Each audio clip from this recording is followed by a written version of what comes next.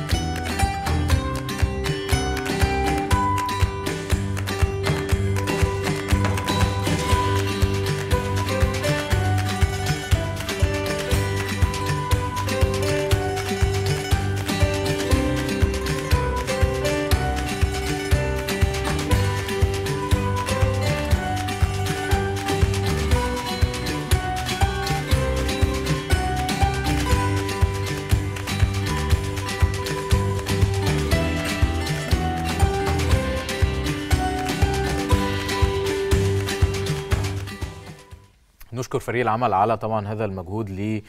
جراف آه، آه، اللي اتعمل على قصر عابدين